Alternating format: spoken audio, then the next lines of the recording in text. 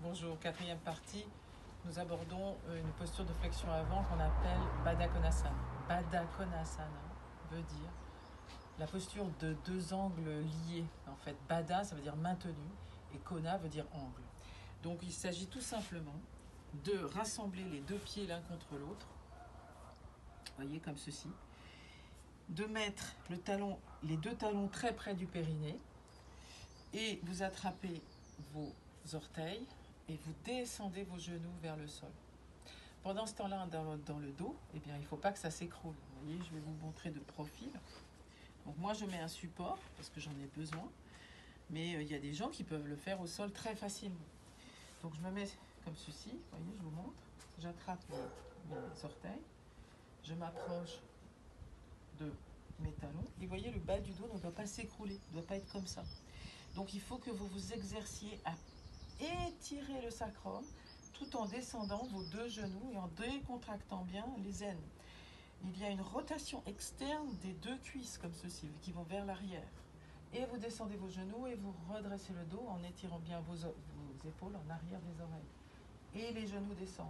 Quand on a un bon échauffement, les genoux descendent plus facilement. Hein, quand vous avez fait des, postures euh, vraiment échauffantes. Bien. Alors, quand vous êtes très raide de cette manière, bien entendu, vous pouvez vous mettre sur des briques, hein, une brique, deux briques, et vous attrapez vos pieds de la même façon. Alors il y a des anatomies vraiment très différentes. Moi, par exemple, j'ai les bras très longs, et je, j'attrape mes orteils. Mais vous pouvez aussi faire la posture en attrapant euh, les gros orteils. Si vous attrapez vos gros orteils, c'est difficile pour moi parce que j'ai les bras longs. Il y a des gens, par contre, qui peuvent tendre comme ceci. Mais moi, je ne peux pas. Donc, vous voyez, vous descendez vos genoux, vous attrapez vos orteils. Ensuite, la logique de, la posture qui suit, c'est ce qu'on appelle euh, Upavishta Konasana. Upavishta Konasana ressemble à une sorte d'écart facial. Donc, quand on n'est pas souple, on se met sur des supports.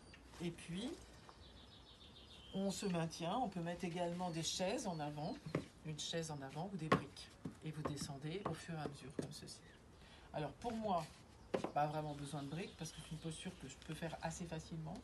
Mais il va falloir vous exercer à avoir des jambes très toniques. L'ouverture est dans votre maximum. Vous avez un support plus ou moins haut. Vous allez mettre vos mains de chaque côté du bassin. Voilà. Ça, c'est la posture de Upavishta Konasana. Donc étirement complet. Ensuite, vous pouvez transformer cette posture avec des torsions. Donc, vous pouvez monter par exemple le bras droit pour moi, vous tournez le nombril vers la jambe gauche, vous allongez le bras droit en direction du pied gauche et vous attrapez le bord externe du pied gauche. Bien entendu, la sangle est obligatoire quand on ne peut pas aller chercher le pied. Donc, ça ressemblera à ça. Et vous pourrez plier un petit peu et tourner la tête pour faire une rotation. Pareil de l'autre côté, vous voyez, je vous montez le bras gauche, vous tournez vers votre jambe droite, vous allongez le dos, vous tournez bien le nombril face à la jambe du côté où vous allez. Par contre, la jambe opposée doit rester tonique. Vous vous ne devez pas soulever ou tourner le pied vers l'intérieur.